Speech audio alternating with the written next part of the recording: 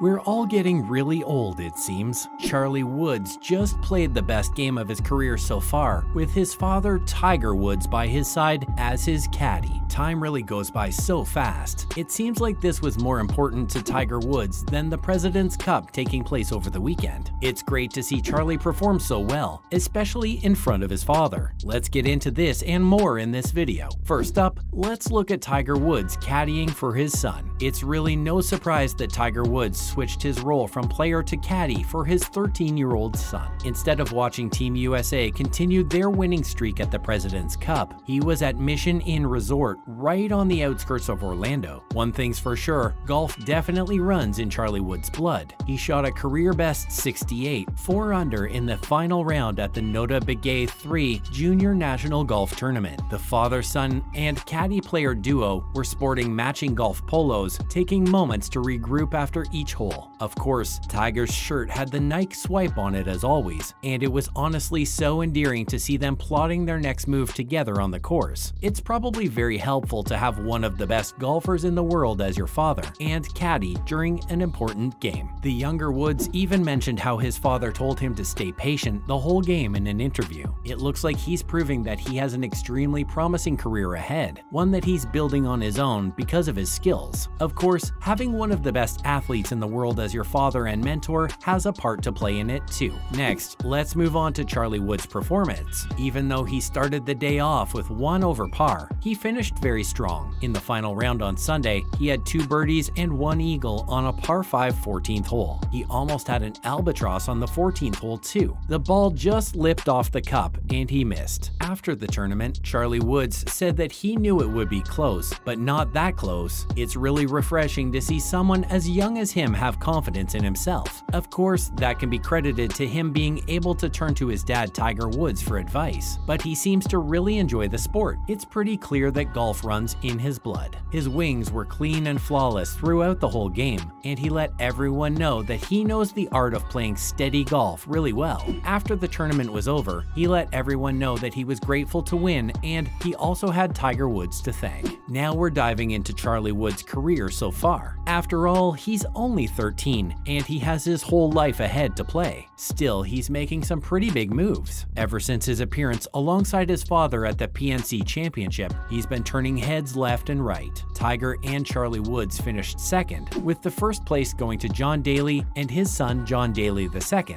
He didn't stop there though, proving that he's not a one-hit wonder because of his father. Charlie went on to compete in the Disney Junior Open in the boys 11 to 13 section on the Hurricane Junior Golf Tour. Charlie Woods also went viral on Twitter back in 2020 for a beautiful swing that left everyone impressed at the PNC Championship that year. Many golfers like world number one Jon Rahm have also praised him because of his exceptional performance. To think that this is only the beginning of his career. Anyway, this phenomenal start has started to pique the interests of gold betting fans as well, and the bets range from how many majors he'll win to if he wins any majors at all. We can't wait to see this young man's career blossom in front of our own eyes. It's rare to have such great skills at his age. Finally, what's next for the Woods? Is Woods coming back to golf or is he finally retiring? Everyone wants to know the answer. After his accident in February 2021, things really weren't the same. The injuries that he had after that were a big deal, considering he almost had to amputate his leg after it. Woods came out and said that he'd never be able to regain full strength in his leg either. After his accident, the focus wasn't to get him to play again, it was just to have him recover properly. Against all odds, in true Tiger Woods fashion, he returned to the course for the 2022 Masters and left everyone in shock. He was even asked straight up if he has any plans to retire anytime soon. He responded by saying, Who, me? Retire? No. He has, however, stepped back from the PGA Tour and is working on a reduced schedule. Woods also said that this might be his last time playing at St. Andrews, his all-time favorite course. He said even if he does end up playing it in a few years' time, he won't have the same capacity he has right now. As for his son, Charlie's career is in full swing right now. At the rate he's going at right now, he's on the way to winning a major before he's 30. Apparently, the odds are 19 to 2 plus 950 that he will win 1 and 1 to 15 minus 1500 that he won't. Even though we can't rely on these predictions completely, one thing's for sure, the younger Woods is definitely leaving an impression and making his mark in the world of golf. Now let's move on to some other golf related news. First things first, let's dig into some updates about the whole LIV versus PGA Tour drama. Anyone who watches golf is aware of the fact that the golf world is divided into two. Ever since the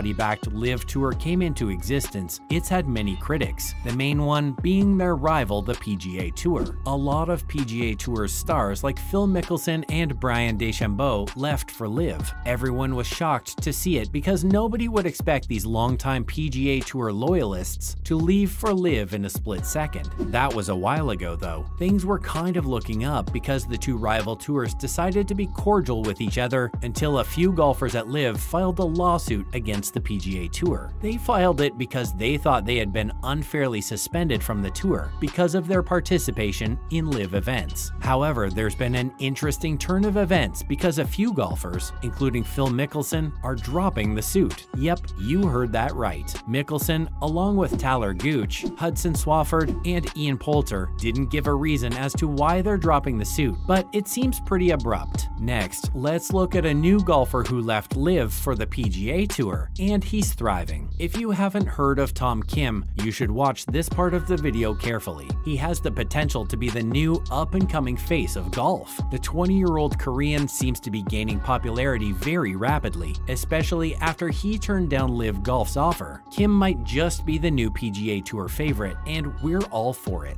His performance in the President's Cup over the weekend was exceptional, especially considering that he's a rookie. His quirky pre-match routine of doing jumping jacks has everyone thoroughly entertained and very intrigued. He's found himself a comfortable place on the PGA Tour, and that's great for him because it's been his dream since he was a child. He proved himself in the Asian Tour, turned down offers from LIV, and waited for his main goal, the PGA Tour. Tom Joohyung Kim made it to the President's Cup after barely six months on the PGA Tour, and that's awesome to see. Even the best golfers like Trevor Immelman have praised him and his pure joy and anticipation. Kim's definitely making history one day. Finally, an interesting collaboration between the LPGA and the AJGA is brewing. Let's get into it. Golf is coming to New York City area in the LPGA's latest event. The venue is only the most high-profile golf club in the area, Liberty National Golf Club. Now, who's hosting this grand event? Michelle Wie West, who just recently retired from the LPGA, is the host,